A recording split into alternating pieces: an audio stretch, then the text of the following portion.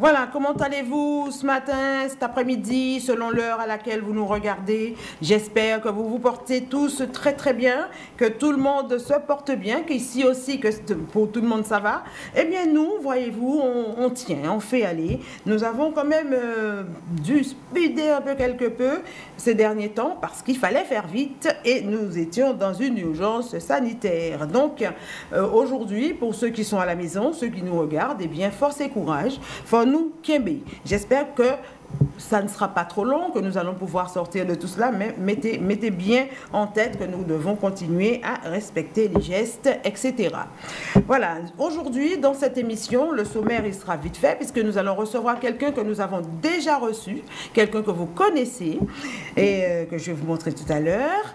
Et à ses côtés, comme elle est arrivée, elle est venue, l'accueil était euh, chaleureux, etc., eh bien, nous a emmené une amie, et nous a emmené quelqu'un que je voulais recevoir. J'ai vu cette personne, enfin je l'ai vu, j'ai vu son ouvrage exposé dans un restaurant, qui était le restaurant du compagnon de notre ami qui est là, que vous allez voir tout à l'heure, et je me suis dit, le titre me parle. Le titre de cet ouvrage-là me parle. Concerto d'une femme libre et engagée. Ça me ressemble un petit peu. Le, titre, euh, j'aurais pu euh, l'écrire, ce, livre. Peut-être pas le lire, peut-être pas le lire, mais enfin le titre, j'aurais pu l'avoir, puisque Concerto d'une femme libre et engagée. Ça vous parle aussi à vous, mesdames. Surtout que cette émission est consacrée en partie aux femmes. Alors, je vais vous présenter tout de suite Annie Babu. C'est ça, Babu ou Babou? Babu. Babu. Annie Babu, et euh, qui nous a écrit ce concerto d'une femme libre et engagée. Et juste là, nous avons Marise. Papa, ça va Marise? Très bien, toujours heureuse d'être Alors, elle, va nous sortir dans le vous, là. Elle va nous tutoyer à, tout va. Hein. Hein, on, peut dire tu. On peut. Oh, tu fais la même chose. Mais, c'est ce que, ce que j'étais en train de dire, parce que sinon, ce serait hypocrite quand même. Hein. Absolument. Puis qui dirais-tu à l'autre ah, bah, Il y a pas de raison. C'est ça. À, qui, avec qui on commencerait? Donc, euh, Annie a écrit ce livre avec la collaboration de Véronique Della Vallée ou Val Della Vallée. Della Vallée. Ça, ça, sonne un peu. Della Vallée. Voilà, voilà. Elle a des origines italiennes. on peut faire rouler ce, truc-là. Donc pourquoi ce titre déjà, j'ai envie de demander? Parce qu'il est criard. Ah, alors ce titre a une longue histoire, parce qu'en fait au départ, je voulais écrire un livre sur trois thèmes. Mhm. La vie, oui. l'amour, la mort. Waouh Waouh mm. Parce qu'en fait, mon livre, il parle de tout ça. De la vie, mm. de l'amour et de la mort. Et puis, euh, au moment de l'utiliser, ce titre, j'ai vu qu'il avait déjà été pris. Oh. Donc, j'ai mis mes amis ensemble et nous avons fait un, échange, un brainstorming. Mm-hmm. Elles savaient ce que je voulais écrire et elles ont proposé des titres comme ça. Et c'est moi qui ai choisi. Et, parmi ceux qu'on a proposés, vous avez choisi ça J'ai choisi celui-ci parce qu'en fait, je me suis dit, qu'est-ce que j'ai voulu faire en écrivant ce livre mhm. J'ai eu envie de mettre ma vie en musique. Ouais. Tout simplement. Concerto. Des voilà. parce, Que, voilà. Parce que dans un concerto, mm. ben, il y a toutes sortes de notes, il y a toutes sortes de mouvements. Et je crois que c'est pour ça que j'aime beaucoup ce titre, moi aussi, parce qu'en fait, c'est ma vie en musique. Et, là, euh, euh, dans cette dernière de cours, vous avez mis sa liberté. Euh, Annie l'a fait vivre au diapason de ses convictions et de ses amours. Volontaire de nature, elle a compris très tôt qu'elle serait une femme engagée. Elle revendique le droit à l'IVG, le mariage pour tous, et introduit la médiation familiale en France. Euh, c'est une femme de cœur, des passions et des tumultes viendront enrichir sa vie. Euh, installée en Guadeloupe depuis en 2003, elle, elle approfondit euh, les questionnements sur la vie et la mort. Vous avez dû trouver certainement énormément de gens qui vous en ont parlé. Hein, de cette vie et de cette mort. Ici, beaucoup n'en parlent pas, c'est pudique. On a même peur. Hum. J'ai parlé à beaucoup de personnes de la mort et je te dirai tout à l'heure dans quel sens. Voilà. Et puis, euh, elle commence alors euh, un autre combat pour permettre à chacun de choisir sa fin de vie. Combat qu'elle mène aujourd'hui, forte de ses presque 80 printemps. Là, elle n'avait pas encore 80 printemps, mais attendez, elle a déjà, là, elle a 80 printemps. que je vous dise qu'elle a déjà ses 80 printemps. Non, je ne les ai pas encore. Pas encore. 2 mars 1942. Coquine. Et pourquoi? C'est parce que tu m'as dit, tu m'as dit que tu savais, j'ai dit même que tu étais très jeune. Mais non, mais je suis très jeune. Je ah, me sens très jeune dans mon ben, cœur. Excuse-moi. Parce que je lui disais, quand, quand j'ai entendu ça, j'ai dit, mais c'est pas possible, elle fait très jeune. Ben... Alors j'aurais bien aimé avoir ces 80 points là. Ça, moi, comme ça, dans cet état. Chacun son tour. Oui, mais t'inquiète. Le mieux pousser.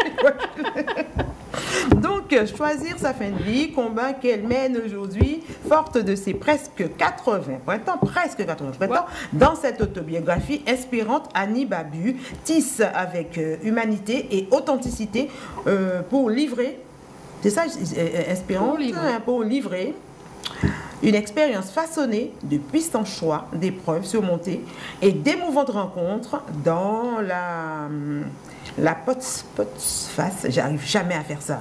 Pots face. Le, ça va sauter, le, ça saute. le philosophe François Galichier souligne Annie a su faire de sa vie autre chose qu'une suite d'épisodes heureux et malheureux. Elle en a fait une œuvre. Et c'est vrai, quand on la connaît, euh, depuis peu quand même, hein, quand on la voit, on, on, la voit sourire, on entend parler, c'est vrai. Alors Annie, racontez-nous un peu ce, parcours en quelques mots. Essayons de synthétiser. Alors, au départ, c'est assistante sociale Au départ, j'étais infirmière. Infirmière et puis je me suis vite rendu compte qu'être auprès des malades tout le temps, ça m'allait pas vraiment très bien. Mhm. Mais j'avais choisi ce métier parce que mes parents n'avaient pas beaucoup de sous. Mhm. Et il fallait, j'étais l'aînée de sept mhm. enfants, donc il fallait que je gagne ma vie. Donc métier d'infirmière, trois ans d'études. Et quand j'ai fini mes études d'infirmière, je me suis mariée à 20 ans, entre-temps. Et mon mari m'a dit, est-ce que c'est vraiment ce que tu veux faire? Je lui ai dit non. Je lui ai dit, tu sais, c'était à l'école de la Croix-Rouge à Saint-Étienne, dans la Loire. Et j'ai dit non. Ce que j'ai toujours voulu faire, c'est assistante sociale. Parce que je voyais des assistantes sociales venir dans la maison chez mes parents. Et je trouvais que cette femme aidait tellement ma mère, aidait tellement mes parents, que j'avais rêvé comme ça. Donc après mes études d'infirmière, mhm. j'ai fait des études d'assistante sociale. Voilà. Et mon fils est né deux mois avant que je passe mon diplôme d'assistante sociale. C'est bien, et, il a porté chance. Ah, il m'a porté chance. Donc, à côté de cela, euh, euh, quand elle parle, elle parle de sa vie librement, elle dit euh, J'ai eu à fréquenter beaucoup d'hommes, c'est ça?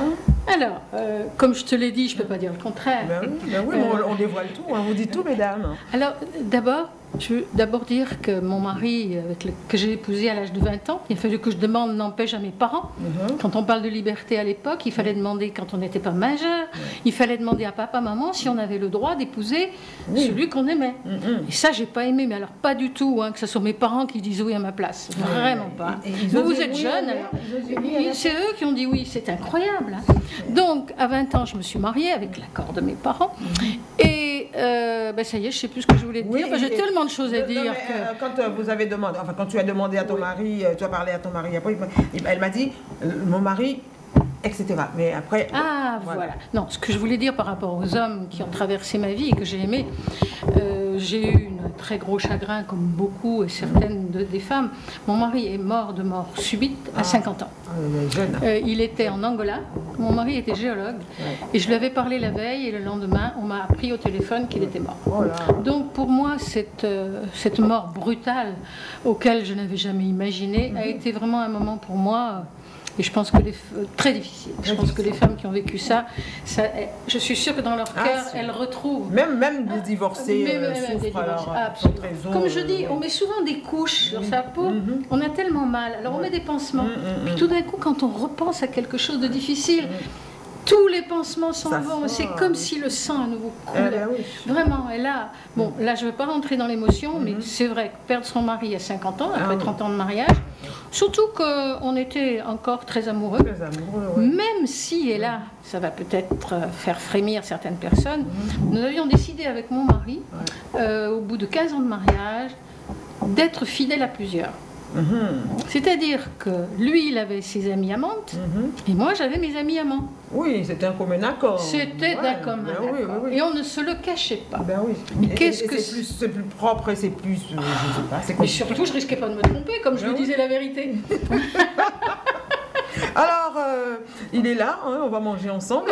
Et puis, on l'appelle euh, Roméo, hein, ou alors Alfred.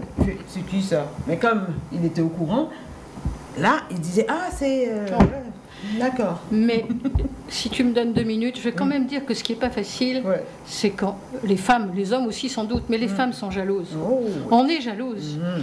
Et tu sais, il a fallu que je réfléchisse beaucoup, et, parce que quand ils partaient avec, souvent des amis à moi, parce que qu'est-ce qu'ils font les hommes? Ben oui, mais ben, ils, piochent autour. Hein. Ils piochent autour. Et comme autour, j'avais plein facile. de très ah ben amis. plus facile, Quand ils partaient passer un week-end avec une de ses amies amantes, mm-hmm ben, c'était pas facile. Ben Au début, j'ai eu mal, mais j'ai eu mal. Et je me disais, pourquoi j'ai mm. mal alors que mon mari que j'aime est heureux avec une autre? Et pourquoi j'ai mal? Parce que moi aussi, de temps en temps, je peux aller voir un autre. Mais, du coup, le fait de ah, moi pouvoir aller voir un autre, mm. j'avais moins mal. je pense que j'aurais pas su. Eh, oh, écoute, non, moi je veux bien être gentille, mais il faut quand même pas exagérer. Mais quand même, il a fallu que j'essaie de comprendre qu'est-ce que c'était que cette jalousie. Mm, mm. Ça m'a trituré le corps, tu vois. Puis après, j'ai dit, je l'aime, il est heureux. Il va revenir. Il fallait avoir confiance quand même en soi. Parce que mes amis me disaient, tu sais, un jour, il reviendra il, reviendra pas. Il, est toujours revenu. Il y, en a qui, guettaient le moins de la moindre faiblesse pour pouvoir. Euh, Absolument. On me disait, tu sais, celle-ci, elle va te le prendre. je disais, non, je lui fais confiance, je l'aime et il m'aime. Mhm. Voilà. Et jamais il n'est jamais parti et il est toujours revenu. Il est toujours revenu et le jour où il est parti, il est parti dans un autre monde. Voilà, et c'était ça. Et là, c'est toujours cette blessure, reste ouverte. Un jour, elle va nous écrire un livre là-dessus. Hein. Ça, je le... Même si elle l'a mis dans son livre, hein, c'est tout si est là. un jour j'écris quelque chose sur la mort, j'aurai beaucoup d'autres choses à dire aussi. Mhm. Parce que euh, j'ai eu après d'autres compagnons. Un qui est parti, d'ailleurs parti en Italie, c'était très bien.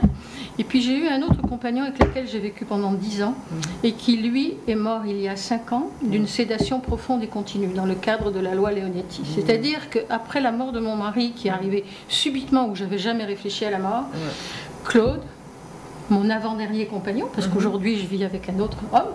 Il ne faut pas perdre son temps, hein, parce ah ben que la vie est courte. Hein. Et puis on ne va pas rester là, à ruminer. à absolument, sinon on vieillit trop vite. voilà. Donc Claude, qui est mort il y a 5 ans, je l'ai accompagné à la maison en soins palliatifs et il est mort à la maison d'une mhm. sédation profonde et continue. Et donc elle va nous expliquer ce que c'est. C'est écrit dans le livre.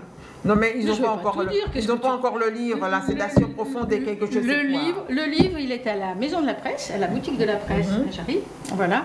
Et c'est vrai que j'explique tout ça en essayant de ne pas y mettre trop de tristesse, mhm. mais tout simplement pour aider les gens à réfléchir à, la mort, parce que la mort, il y a, la seule certitude qu'on a, c'est mhm. qu'un jour, elle va, elle va nous rattraper. Elle va nous rattraper. En fait, euh, elle a dû aider son, son mari, je vous le dis entre nous, elle a dû l'aider à partir, je pense. Non, je ne l'ai pas aidé. Ah. Mais je sais que tu es dans cette, euh, cette optique-là. Allez, si tu veux vraiment que je te dise tout ce qu'il y a dans le livre. non, pas tout ce qui est dans le livre, juste nous dire euh, euh, pourquoi, ce qui s'est passé avec Claude, moi je veux savoir.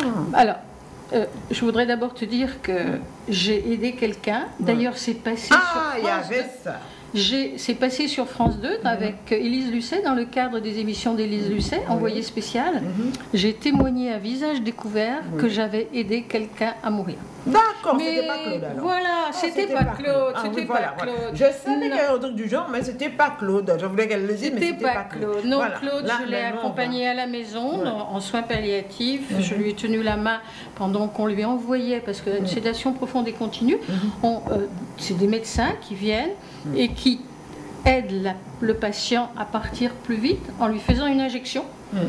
qui fait que ça le met dans le coma et il meurt en 48 heures. Alors, euh, nous allons quand même rappeler que cette personne qui parle, comme vous la voyez, avec son cœur et avec autant de convivialité, est l'auteur de ce livre qui a pour titre Concerto d'une femme libre et engagée, paru aux éditions euh, d'encre.